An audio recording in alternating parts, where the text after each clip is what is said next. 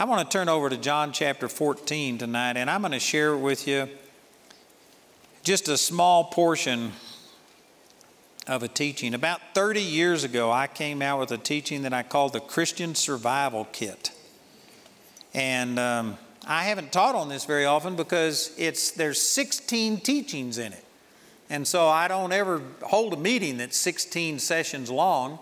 And on television, uh, I usually go one week on one teaching, so to go 16 weeks on one subject, most people lose interest. So I don't teach on this very often. But this is one of the most important things that God showed me. And uh, if you watch that story about Gina Boop this morning, uh, one of the things that Bud said was that he had, he had heard me say that your first reaction pretty much dictates the, way, the outcome of things. And I got that from right here. This is Jesus speaking to his disciples the night before his crucifixion. John 14, 15, and 16 are all a message that he ministered to his disciples after the Lord's Supper before they went to the Garden of Gethsemane and he prayed. And so it was just hours before he was going to be arrested and before he would be crucified the next day.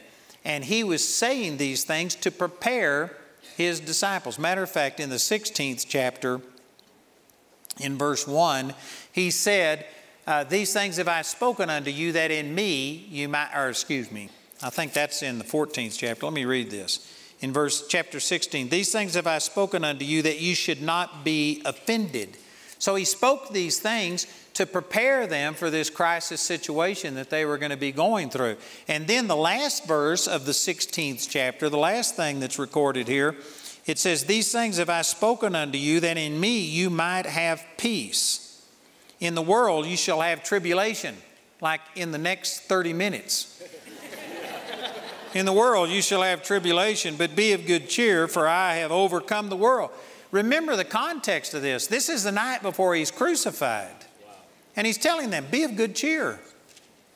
Let not your heart be troubled. This is back to chapter 14, verse 1. So here's how he spoke to his disciples the night before his crucifixion. They were going to see him arrested. And of course, not only would Jesus' life be in jeopardy, but all of the people who followed Jesus were also going to be in the crosshairs and they were going to be coming after them. And so these guys were afraid. And it says that not only did Peter, but all of the disciples forsook him and fled. And so these guys were scared. And how is Jesus preparing them for this? Look at this in verse 1, John 14, 1. Let not your heart be troubled. You believe in God, believe also in me. Did you know that today, if I wasn't reading this from Scripture, if we weren't here at this conference, if I hadn't have introduced this the way that I had, if I was just with you when the doctor says you're going to die, or whatever the crisis is that you're going through. And if I walked up and said, Don't let your heart be troubled, I guarantee you the vast majority of Christianity would condemn me yeah. and say, You aren't being sensitive. Right. You are asking people to do things that are wrong. And people today embrace their weaknesses. Not in the sense that when I'm weak, then I'm strong. God, I'm going to trust you. But they embrace their weaknesses and take glory in all of these kind of things and feel like, well, God, I'm only human. And we use this as an excuse for weakness. I'm not only human. One third of me is wall to wall Holy Ghost. I've been born again and I have the Spirit of God living on the inside of me. These guys didn't even have the Holy Spirit. And yet Jesus is telling them, don't let your heart be troubled. By saying it the way he did, he's saying you have the ability to keep your heart from being troubled. And did you know, again, most Christians don't believe this.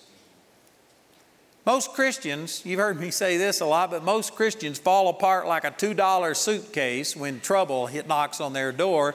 And they embrace this. They let their emotions go wild. They vent and throw out all of their unbelief, speak all of this stuff. And then, after they've just, you know, spiritually thrown up all over themselves and covered in all of their unbelief, then they go to God and, oh God, I'm going to trust you and believe you.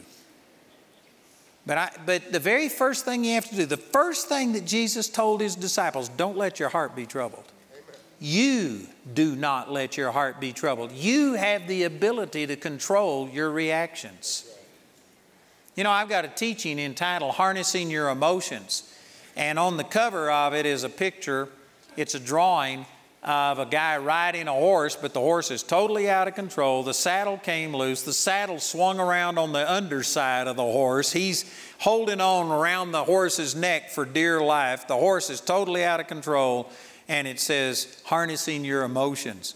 And the reason I use that is because I've had horses most of my life. And you know, I've learned about horses that if you let a horse get away from you and get into a run, you just might as well jump off. Unless you really know what you're doing, there's not much that you can do to turn a 1,200 pound, a 2,000 pound horse around and stop them. It is easy to stop a horse from getting out of control, but once you let it get out of control, you're in big trouble. My horses were always green broke because I didn't have time to them, ride them very much, and I didn't have much time to work with them, and so they were, they were just half broke. And I remember a little seven year old boy came out, and I just taught him a few things what the Bible says. You put a bit in a horse's mouth. A horse can't do anything without its mouth. You know, if, if the horse wants to rear up, it can't rear up unless it throws its head back. So, what you do is put a tie down on it, keep it from throwing its head back, and it will never rear up on you. If a horse wants to get down and roll and try and get you off, all you got to do is watch it. And if it starts to put its head down, yank that bit up and keep its head up, and a horse will never get down and roll on you. A horse can't run that direction with its head turned this direction. So it can't do it. I actually held a horse, a 1,200 pound horse, down on the ground one time with my foot on his head.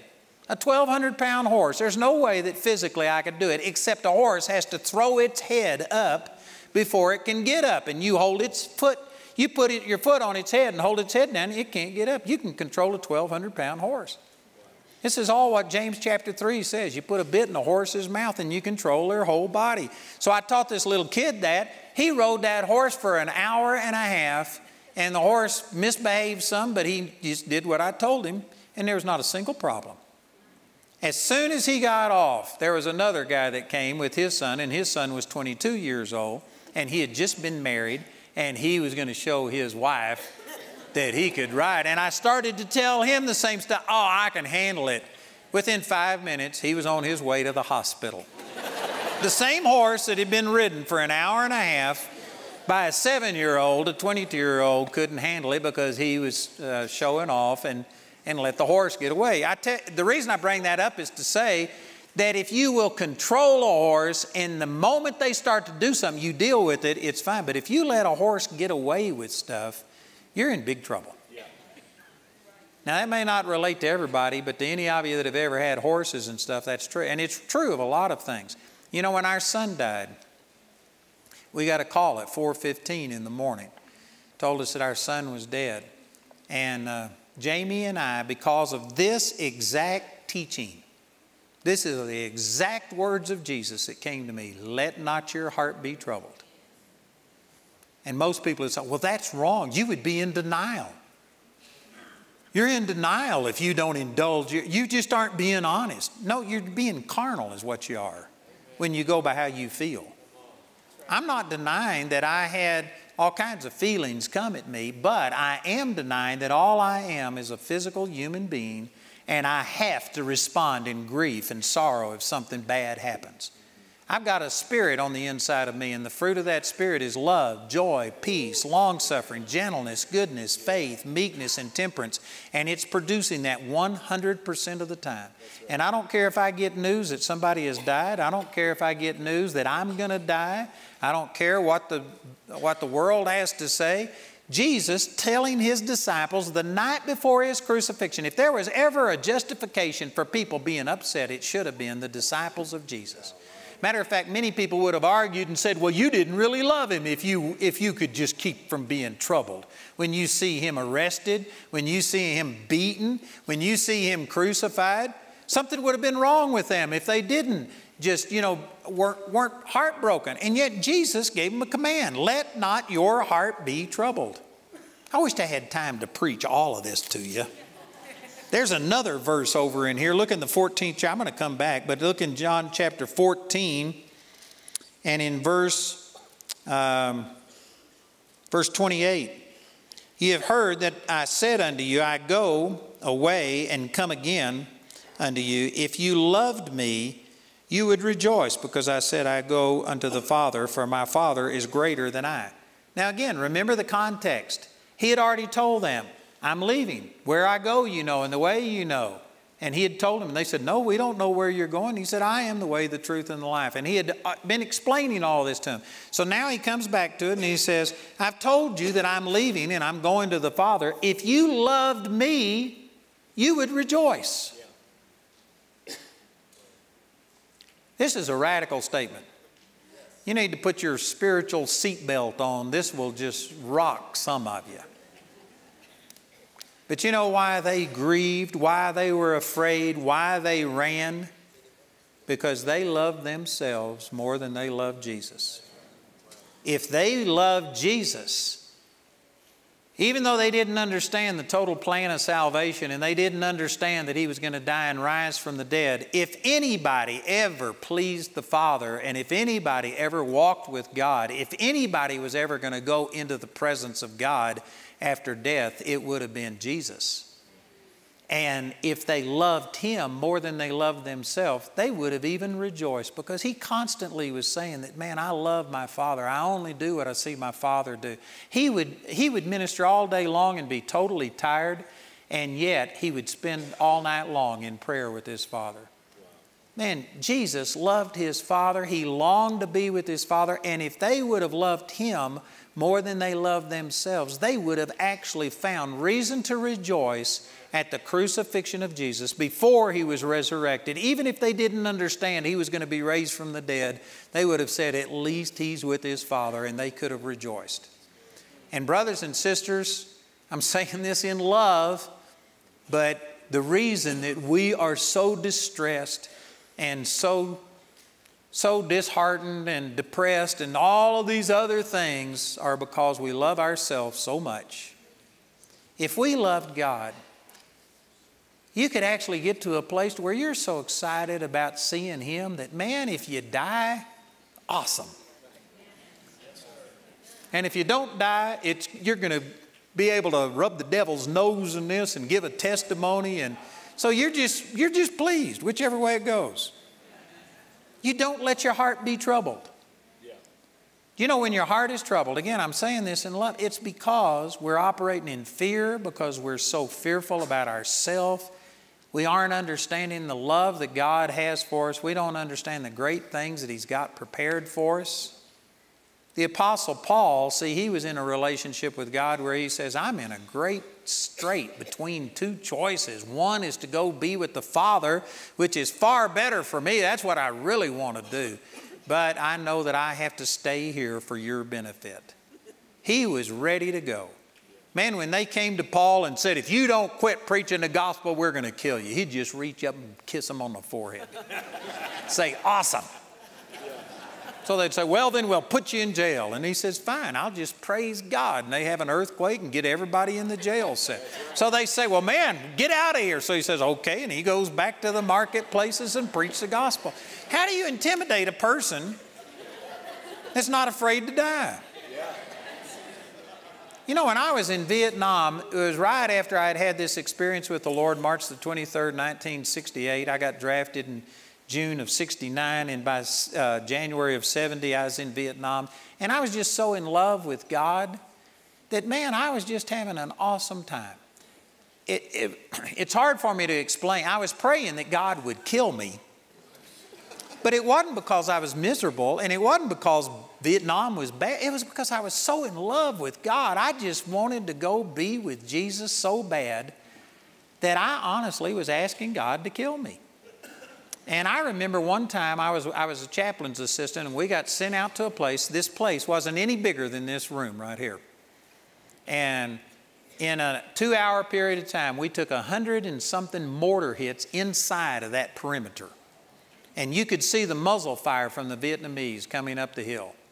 and it looked like we were going to be overrun. And a matter of fact, they were overrun. I was a chaplain's assistant, and they got us out. They got the chaplain and me out right before the hill was overrun, and nearly every person on that hill was killed. It was a life and death situation. And I remember what was going on. I had my M16 pointed down the hill. I never had to fire it because they were out of range, but I could see the muzzle fire from their weapons. And you know what I was doing? I was just praying and saying, Oh, Jesus, I could be with you before the night is up. I was so excited. I was just thinking, This is awesome. Awesome. And I was just so happy. I was thinking, Oh, thank you, Father. And I was so blessed. And then I got to thinking about the Vietnamese that I had my gun pointed at. And I started saying, But God, they don't know you. And I was interceding and praying for these guys that I was about to shoot. And I just had love flowing through me, and I was so excited. And I know some of you think I'm weird. Well, I think you're weird.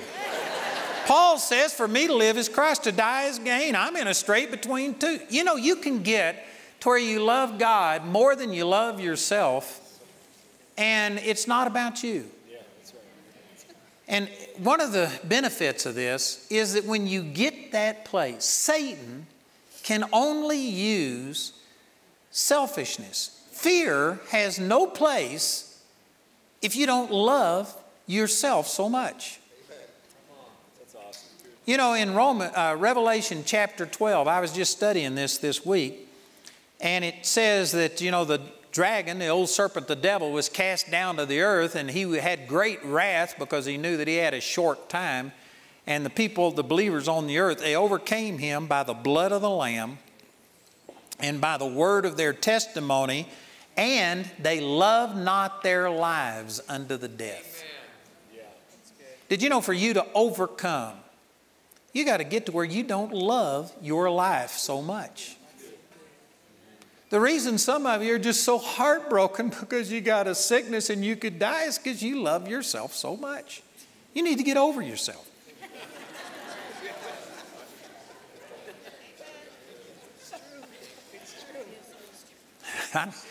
I don't know how to say this any differently. It's just.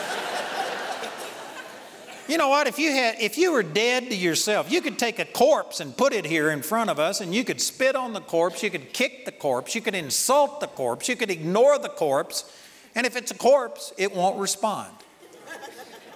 You know why you respond? Why you are just so heartbroken? It's because you aren't dead to yourself. It's because you haven't cast your care over on the Lord. We have fallen under the spell of our society that is just all about self. Everything is about you. And we have adopted this and we are just out to promote self. And when self suffers, man, you just can't handle it. You know, I was just in Norway and uh, there was a man, Dennis Greenidge, and he's a pastor in London. I'd never met him before. And I was the main speaker. I think I spoke four times. Dennis spoke the first time and the last time. I'd never met this man before. He was an African American pastor in London. And he got up and he says, I've never met Andrew, I've never heard his teaching, but as I prayed about this, God told me my assignment was to just prime the pump. I am here to get you opened up to what this man has to say. And he spent his whole hour telling people to expect, open up your heart. God is going to speak through this man. And I'd never met Dennis, but uh, you know what? I said, This man loves God more than he loves himself. I, in my 50 years, I have never had anybody get up and do something like that. And so, man, that drew me to him. And we got to visit with him, and he's just an awesome guy. It was great. But did you know there's very few people that would put the kingdom of God above themselves? And because of that, that's the reason that when something happens to self, you just are hurt so badly and you can't get over it. I'm telling you, your emotions, if you ever let your emotions get out of control, it's hard to rein them back in. Matter of fact, I, are you still in John chapter 14? Look over here in James chapter 1. Let me show you this. I'm going to come back maybe. In James chapter 1, in verse 13, let no man say when he is tempted, I am tempted of God, for God cannot be tempted with evil, neither tempteth he any man. But every man is tempted when he is drawn away of his own lust and enticed. Then, when lust hath conceived, it brings forth sin, and sin, when it is finished, brings forth death. This says that sin has to be conceived. Sin doesn't come upon you like a seizure, it has to be conceived. This is talking about birth. You know, I'm not going to teach on how a baby comes. Hopefully, everybody here knows this. I'm going to take some things for granted. But babies aren't brought by the stork. You don't just get pregnant without having a physical relationship with a man. You have to be impregnated, you have to conceive a child. This says sin has to be conceived. And where is it conceived? In your lust. We use the word lust nearly exclusively to describe immoral sexual desire. But the word lust, if you look it up in the way it was used in the King James, matter of fact, over in Galatians chapter 5, it says, The spirit lust against the flesh, and the flesh lust against the spirit. The spirit, the Holy Spirit, does not have an immoral, ungodly sexual drive or desire. The word lust isn't used the way that we use it today. It's just talking about strong emotion. Sin is conceived in your emotions. There are people that do not want to sin, and yet they allow, in a sense, intercourse with the devil through their emotions. When you sit there and allow fear in, and I could name a dozen things right here, but going back to John chapter 14, verse 1, when you let your heart be troubled, when sickness comes and you begin to panic and, oh no, what am I going to do? And you get fearful about all of these things, you have allowed Satan to plant a seed in your life that you don't want to come to fruition but you indulge it. Most people allow their emotions just to go the full gamut, and only after they've cried all they can cry, after they have worried all they can worry, they turn to the Lord. Oh, God, help me. By that time, you've got to have an abortion. You've already got this thing in process, it's in the birth canal. And you're going to have to have an abortion. And I tell you, that's not the way to deal with things. The way to do it is not to conceive it. If you can control your emotions, you can stop sin. And I'm not only talking about sin, but you can stop sickness from having a hold on you. You know, I started telling this story about when we got the call about my son being dead, and immediately we had these feelings of grief, sorrow, anything that anybody else would have. But this exact verse, the Lord spoke to me let not your heart be troubled. If you let your emotions go, if you let yourself get into unbelief, it's going to be hard, hard, hard to overcome this. And so Jamie and I immediately agreed. We immediately spoke our faith, and we had enough wisdom from the Word of God to know that death and life is in the power of the tongue. So we weren't going to speak something contrary to what we believe. So we didn't say anything for a long time. I mean, we went, we got dressed, we had to get up and get dressed and head into Colorado Springs. It was an hour and 15 minutes, didn't have cell phones in 2001, and so uh, we didn't know what had gone on. And finally, I just, I was feeling so much grief and sorrow and things come against me that I just said, I am not going to let this happen. I am not going to grieve even over the death of my son. And I started praising God. And I started saying, Father, you did not kill my son. Amen. You didn't do this. I'm not blaming you. You're a good God. And I just started praising Him and saying, Father, thank you. And whether our son comes back to life or not, I am going to serve you with everything I've got. I just started praising God. And you know, it's like priming the pump. When you start praising God, maybe I didn't feel like it then, but when I started just encouraging myself in the Lord, again, go back to that chapter 16, verse 33 In the world you shall have tribulation. He didn't say do this only when everything's going good, but when you're in the midst of tribulation, when everything is bad, in the world you shall have tribulation, but be of good cheer. Not just when things are good, when you're in the midst of tribulation, be of good cheer, for I have overcome the world. And I just started praising God. And within just a few moments, man, all of a sudden, God brought prophecies back to my remembrance. Faith welled up, and I started laughing. Not by faith, but by feeling. And I started saying, This is going to be awesome. Our son's coming back from the dead. He had been dead for nearly five hours. Between four and five hours, he had been stripped naked, uh, put in a freezer in a morgue with a toe tag on, and he just sat up and started talking. It was awesome. And after being dead without oxygen for over four hours, there was no brain damage, no more than he had before. and today he's alive and well, and we've got a granddaughter that just turned 16 years old, and life is good, and it, it, good things are happening. And you know why? Because we grabbed hold of our emotions and did not let our heart be troubled.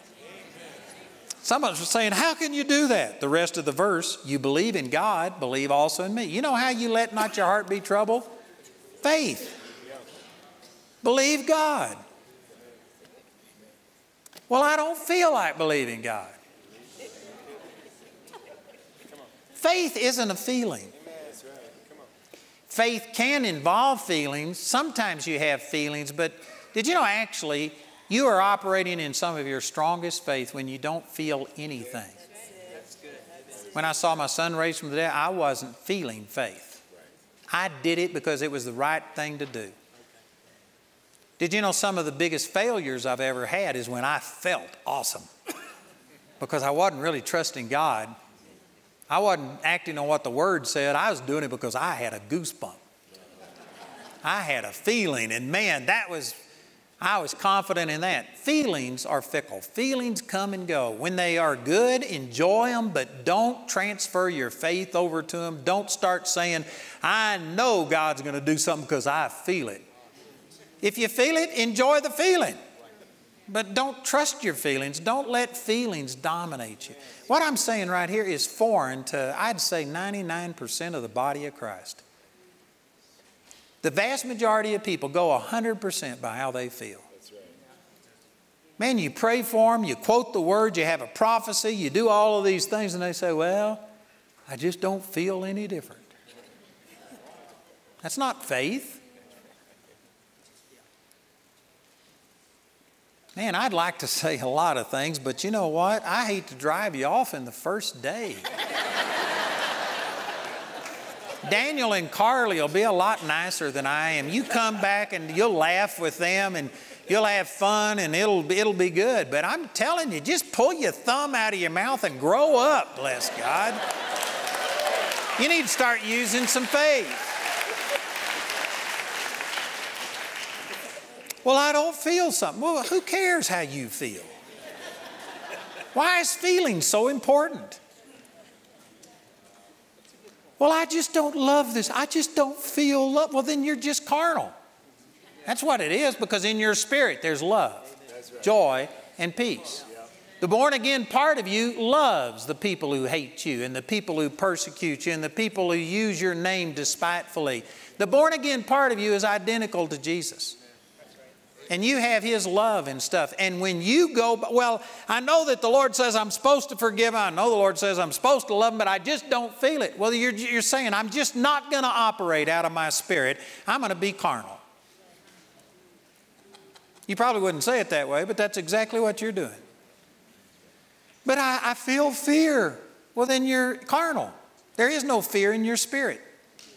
Are you going to walk in the spirit? Who you are in Christ? Are you going to appropriate what He's done for you? Or are you just going to live like a normal, natural man or woman? I'm telling you, it's so simple. If we would cast our care over on the Lord and not let things get on the inside of us, Satan just couldn't overwhelm you. You know, I prayed with a man today over here that's been diagnosed with cancer and in the natural supposed to die, but he's just happy. He's trusting God. They're, all of the reports are bad, but he says, I'm just fine. Amen. And he's praising God. And I told him there was a woman that came here to school and she was given only six months to live, and they said there was nothing they could do for her, so she never went back. And it's been, I don't know, five, six years. She was given six months to live, and it's five or six years, and she's just healthy as a horse. And why go back? They said they couldn't do anything for her, so just keep going. And she's trucking and she's doing good. Amen. I'm telling you, Satan cannot do anything to you without your consent and cooperation. And one of the things that, cooperate, that cooperates with him and enables him is fear, worry, care. You could describe this in a lot of ways, but what it is, it's not trusting God. You just aren't trusting Him. He's already promised that by His stripes you were healed. If you really believe that, you wouldn't be so concerned. And we do have a part to play, and it is possible that we could miss it and God's will doesn't always come to pass, not because God's the one who fails, but because we don't appropriate it. But even if you miss it, you go to heaven. You live forever in a mansion on streets that are paved with gold. You got no reason to gripe or complain. You got no reason to be upset. If you get healed, it's awesome. Use it for a testimony. And if you die, it's awesome. You got nothing to worry about. If you could get this attitude to where, man, you just praise God. You know, it's like the three Hebrew children. They commanded them to bow before the image, and they wouldn't do it. And he brought them up, and he says, I'll give you one more chance. You bow, and I won't punish you, but if you don't bow, I'm going to throw you into a fiery furnace. And they said, Oh, king, we are not careful to answer you. In other words, we aren't afraid of you. We aren't afraid of what you're doing. Our God, whom we serve, is able to deliver us, and He will deliver us. But even if He doesn't, we still aren't going to bow. They said, Our God can deliver us. They were believing for it, but even if it doesn't work, I'm still not going to bow. I don't care. That is awesome. Some people think, well, that was a statement of unbelief. No, that's just a statement that, you know, not everything works perfectly. We fall, we live in a fallen world. God doesn't always stop persecution against us. We're redeemed from sickness and things like that, but you aren't redeemed from persecution. All those who live godly in Christ Jesus shall suffer persecution. The only Christians that aren't persecuted are Christians that don't live godly.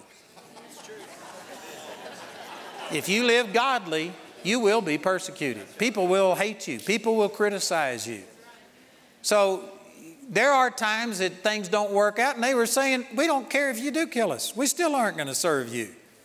And you know what? They happen to experience a mighty deliverance because when you put yourself in that position where you're just resting in the Lord and you're at peace, it really hinders what the devil can do. He has to have your cooperation. Satan has to have your cooperation to destroy your life.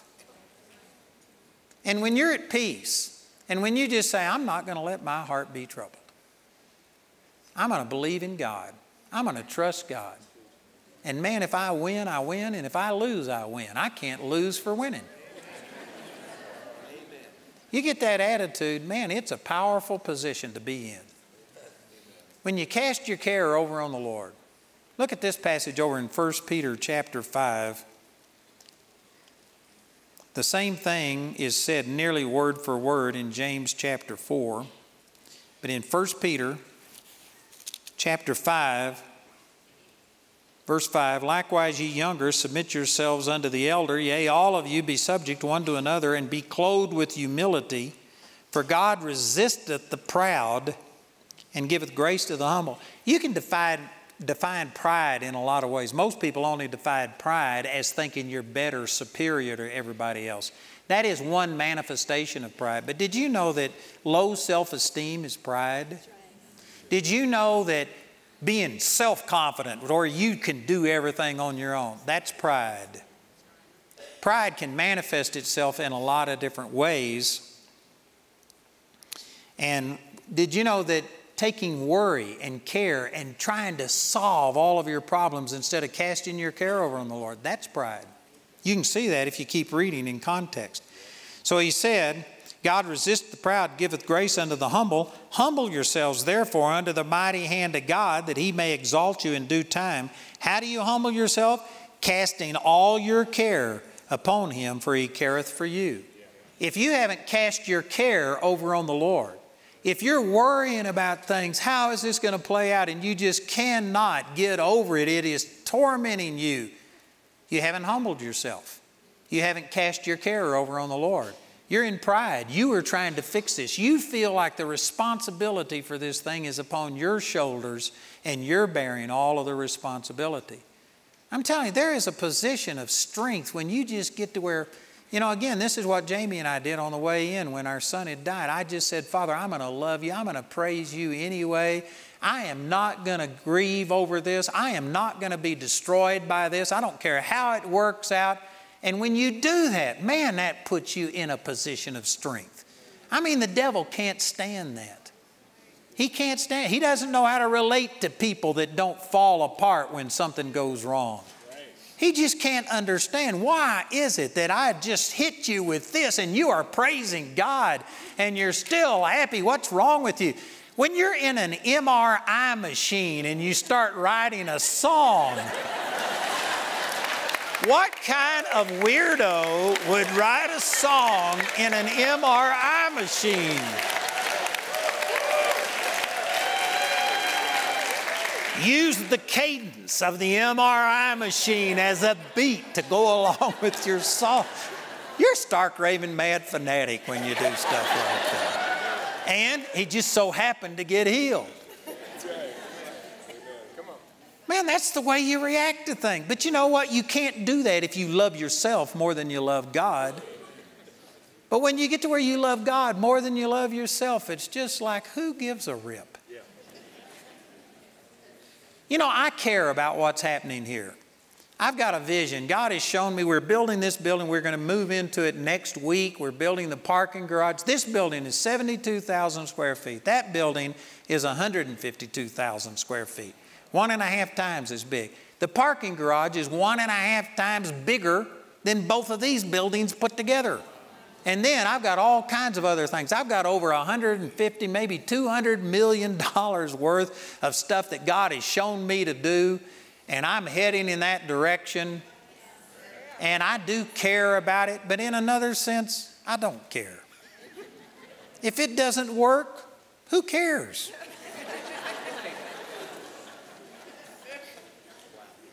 I really don't care that much. I don't stay up at night worrying about this. How many of you need $200 million? There's probably nobody else in here who needs that much money. I need, did you know that right now we need over $5 million a month just to break even? And I figured out, I forget now exactly what it was, but that's like five, seven thousand dollars an hour, 24 hours a day, seven days a week, 365 days a year. Since I've been preaching, I needed $5,000. Since this service has been going, I need nearly $10,000. How many of you would that would bother you? But you know what? I've learned to cast my care over on the Lord, and I believe things are going to work out. But even if they don't work out, I don't really care. I've already seen God do more than I ever thought He would do, and and I, you know what? If I shoot for the stars and only hit the moon, yeah. that's, awesome. that's awesome. Amen. I'm just not worried about it. You can get to a place to where you love God, and, and you know, I honestly, I've said this, and people question whether I mean it, but honestly, I'm just in love with God, and I don't, I don't have a five year or a 10 year goal, and I'm not trying to get, oh God, please help me to get this done. I don't have anything that I want God to do.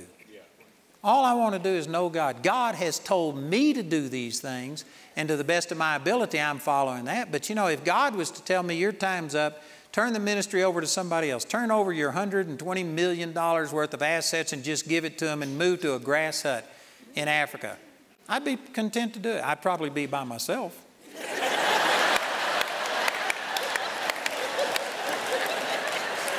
Jamie's idea of camping is not getting a suite in the hotel.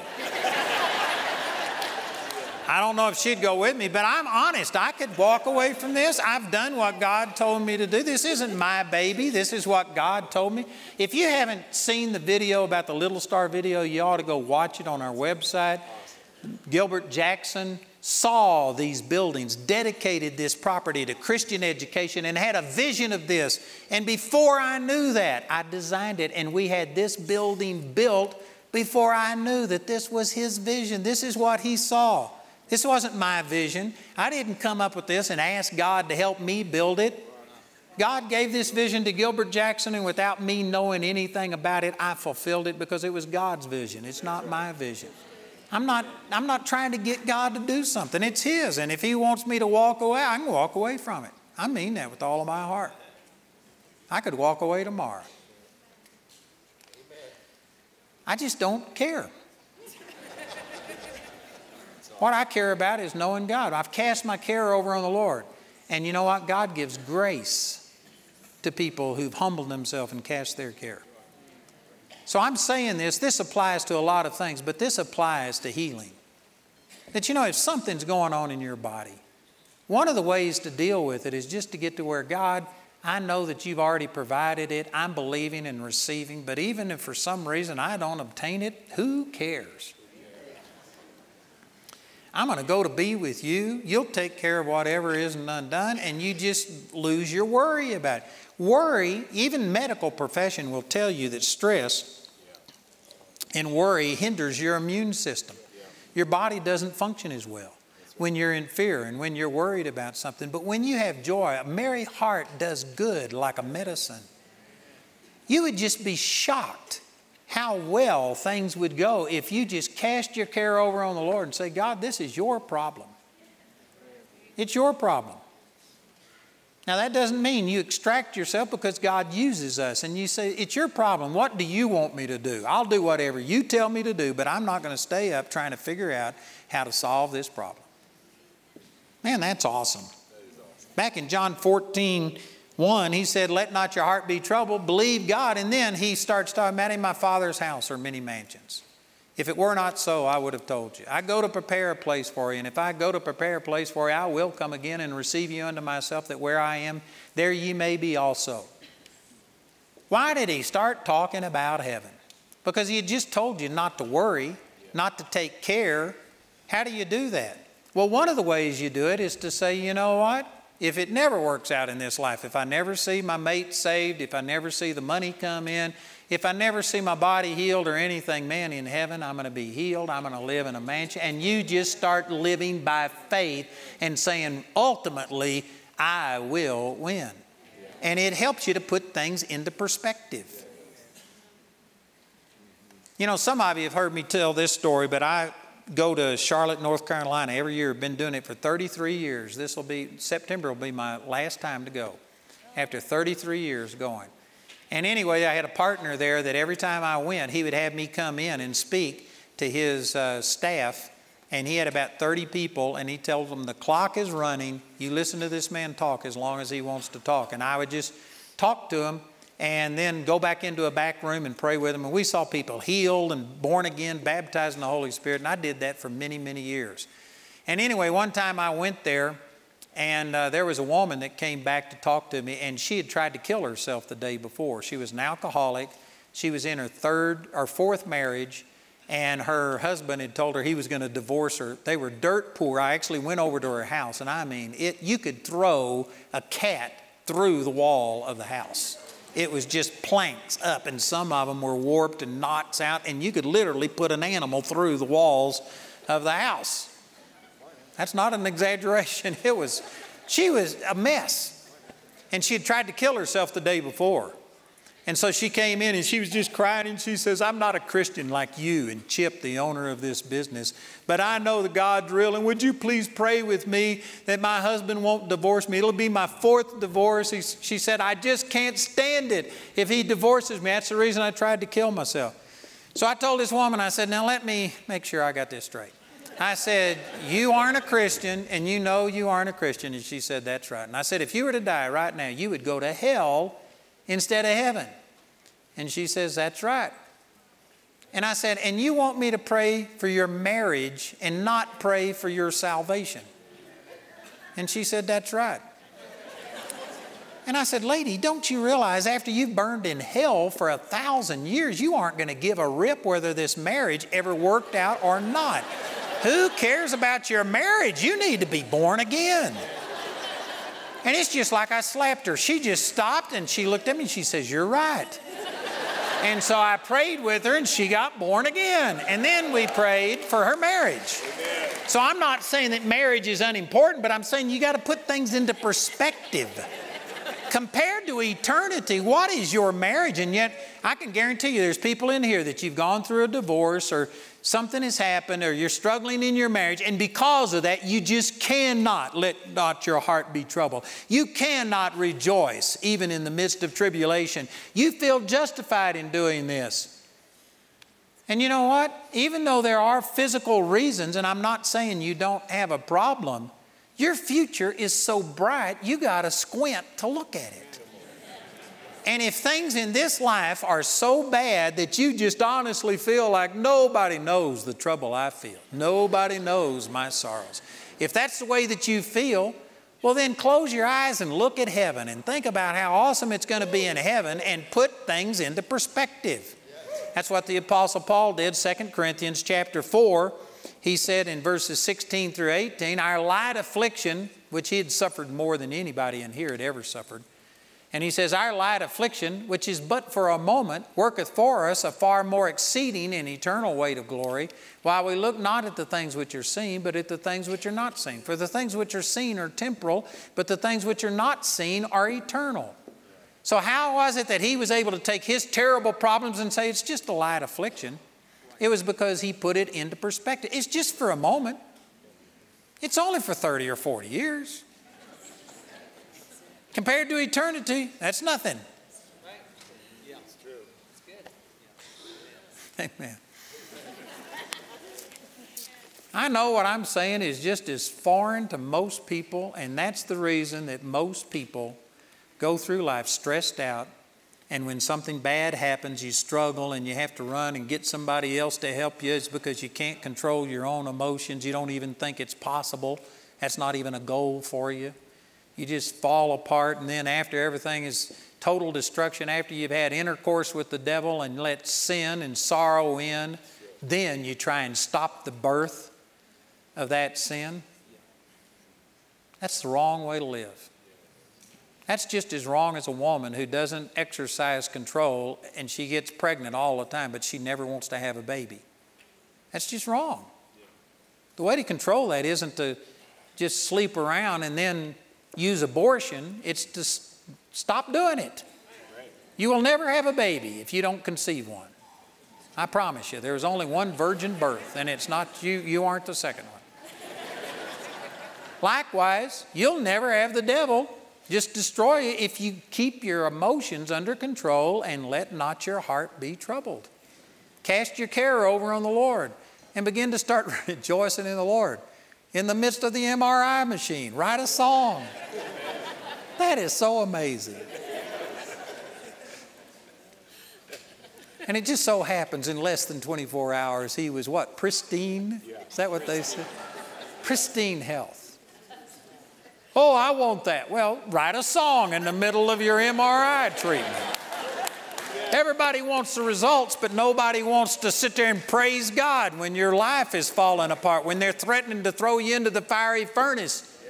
Man, you're, you're cutting deals. You're doing all kinds of things instead of just saying that, man, it doesn't matter. Shoot your worst shot. Amen. Praise God. I tell you, brothers and sisters, God is for us, He's not against us. And if you really believe that, you could rest in that, and it just makes you different than other people. You know, I've read a number of books Foxe's Book of Martyrs and the Encyclopedia of Christian Martyrs, and I've read a lot about Christians in the early centuries up through the third century. And did you know that they, I was actually in uh, Rome and went to the Colosseum and then went through the catacombs. And I read all of these reports of the first century Christians. And did you know that they would fight over who got to go out and die for their faith? They would literally fight to see who could go out first. Because the Bible said that, you know, as your days are, so shall your strength be. In other words, whatever you're going through, God will give you the grace to be able to handle it. And there is a special grace upon people who lay down their life for the Lord and they experience the presence of God so much that they would literally fight to see who got to go out and die first. There's not very many Christians today that would do that. And you know why? It's because we love our lives, but they love not their lives unto the death.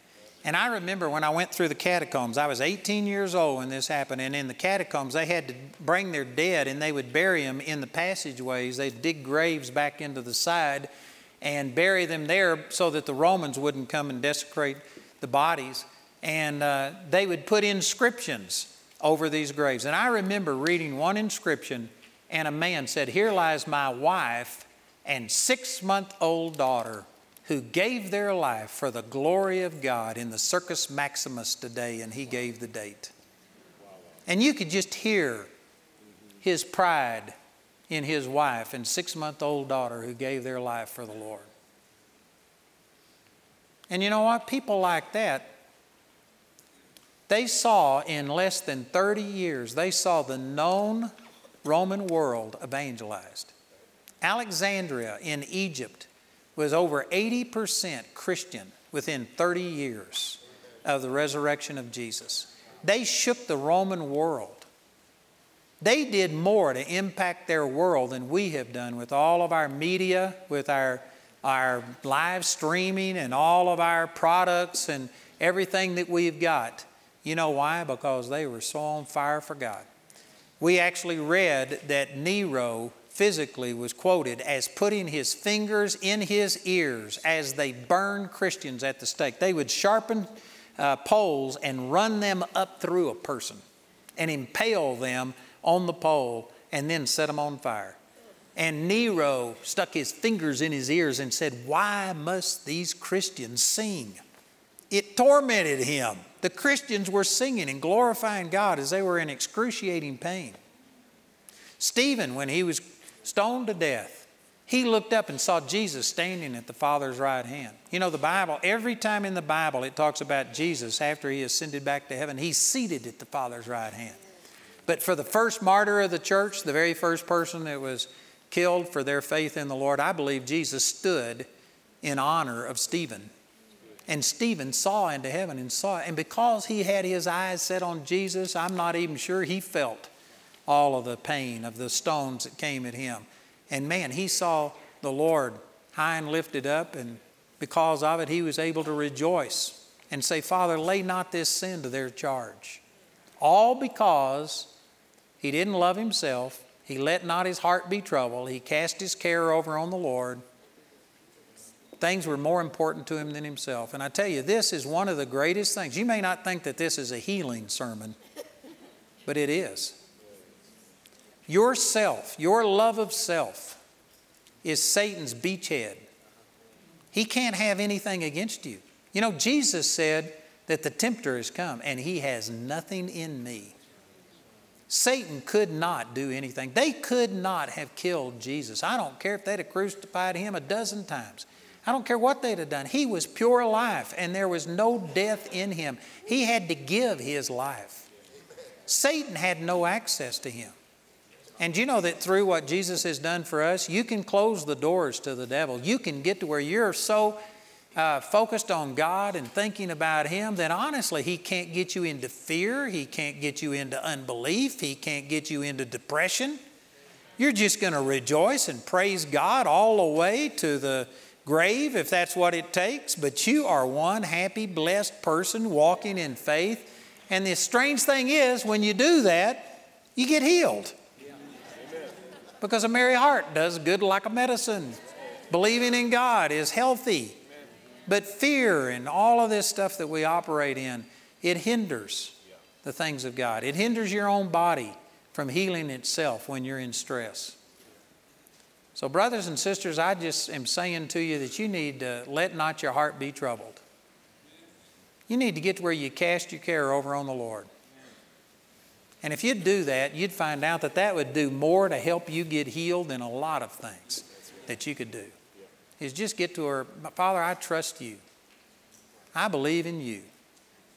You know, I went golfing in, in Florida and I got sunburned real bad and I had this thing on my ear. Some of you have saw it. I had it for six years and it was a cancer. Matter of fact, Dr. Bird right here on my board, he was really concerned about this and he was trying to believe with me, but he was just looking at it in the natural. And every time we'd have a board meeting, he'd say, Get over here in the sun. And he'd look at my ear and he'd refrain from saying things, but I could tell he didn't like it.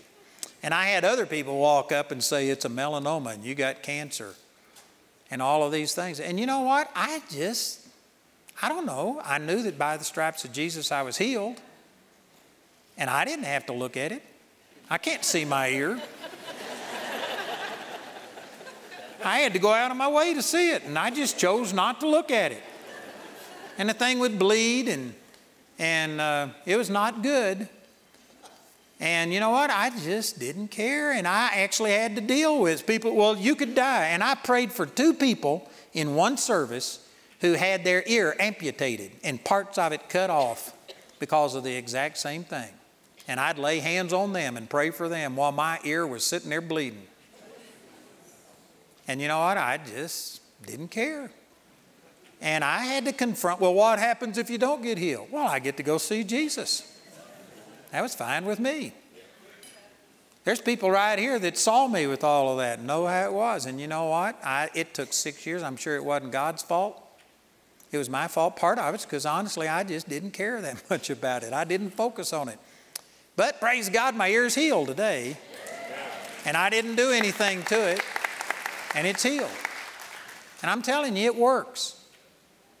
I even had a guy come pray for me, Pastor Bobby Ray, who's a great guy, and he operates in the prophetic, and he said he saw hundreds of little demons like ants that were trying to get into me through my ear, and they were just all over, it, but they couldn't get in. The devil was trying to get at me, and I, he just had no place in me. I didn't have any fear about it, any worry. I never confessed. I, every time somebody, what's wrong with your ear? I said, my ear's healed. Well, it doesn't look healed. Well, it is healed. And finally, when it was all manifest, people would come up and say, Your ear's healed. And I said, I told you it was healed. What's wrong with you? Amen. Do you have to see it before you believe it? Praise God. I tell you, brothers and sisters, God has given us power and ability to walk by faith that is different than walking by sight. 2 Corinthians 5 7, we walk by faith and not by sight. We've got access to power that we aren't using. You can operate in faith. You can believe God. You can still your emotions. If you got butterflies in your stomach, you're afraid over something, command them to fly in formation. Amen. you don't have to deny they exist, but just tell them to get in line. Amen. You will straighten up. Amen. I don't deny that I have negative emotions, but I do deny that those are all I've got. I've also got all of the fruit of the Spirit, and I am going to operate in what God says, regardless what I feel like. You know what? I could be bothered over all of the financial stuff that I shared with you tonight, but you know what? I'm not. God's going to work it out. And you just give me a little bit of time, you hide and watch, and I'll come out smelling like a rose. Amen. It'll happen.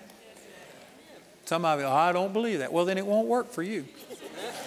But I believe it. It's going to work for me. Father, we thank you for these truths. Thank you for the Word of God. And Father, just as Jesus was telling his disciples the night before the worst thing that anybody could ever encounter is your crucifixion, resurrection, you told them not to let their heart be troubled. Father, I speak this to my brothers and sisters in here. And right now, I'm asking that you would help people to cast their care about things over on you, to quit being fearful, to quit being worried, to just let it go. Father, we trust you. We trust you even to death. Father, we trust your word. We trust it without, without reservations. We don't trust you just to a point.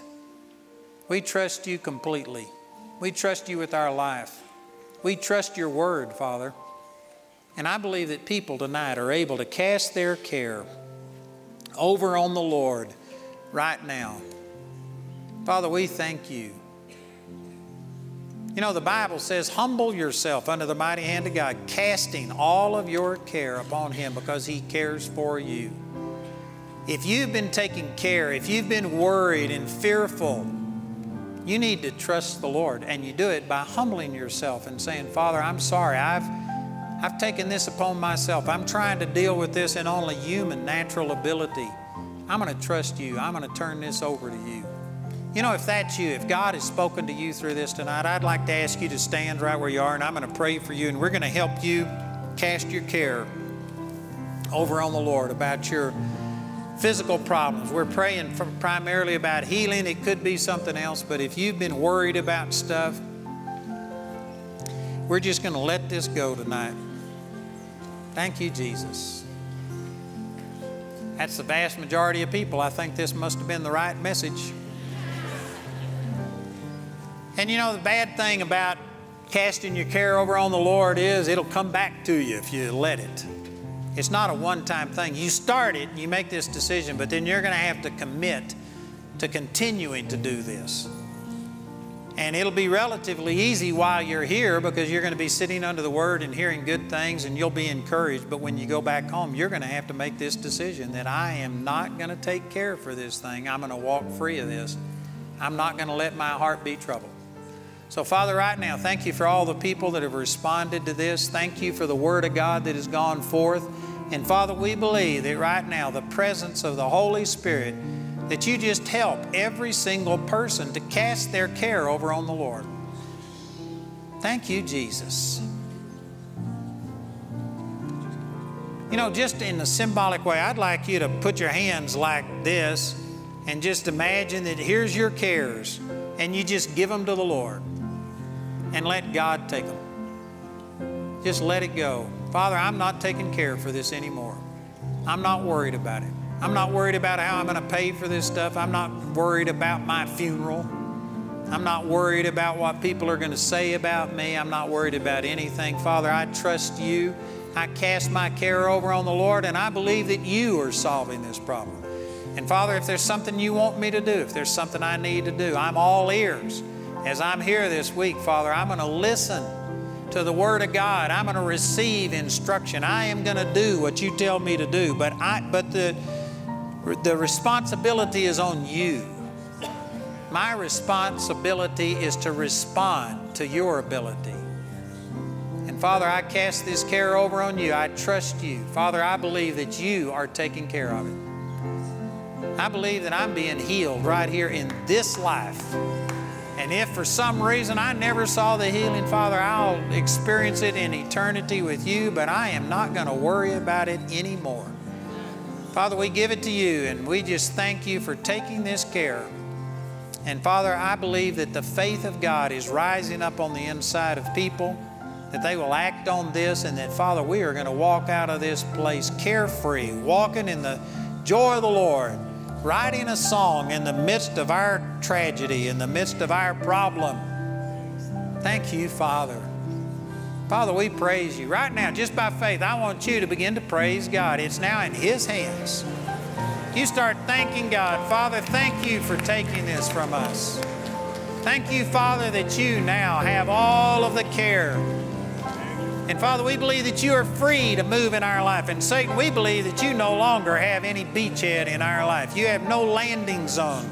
You have nothing in us. We refuse to operate in fear and worry and care and bitterness. Father, we just let it all go and we thank you that you've taken it, that Satan has no place in us. Thank you, Heavenly Father. Hallelujah. Praise the Lord. I believe that right there, some of you are just experiencing a peace of God that passes understanding. Your situation hadn't changed yet, but in spite of what you see, there's a peace that passes understanding that is coming into your heart. Thank you, Jesus. That the love of God is flowing towards you right now, and faith works by love, Galatians 5 6. Right now, faith is beginning to rise, peace is beginning to rise. Man, don't get out of peace. Let the peace of God rule in your heart. Thank you, Father. Father, we labor to enter into that place of rest to where we believe you've already done it and we've cast our care upon you. We receive it. We thank you for it right now in the mighty, mighty name of Jesus. Hallelujah.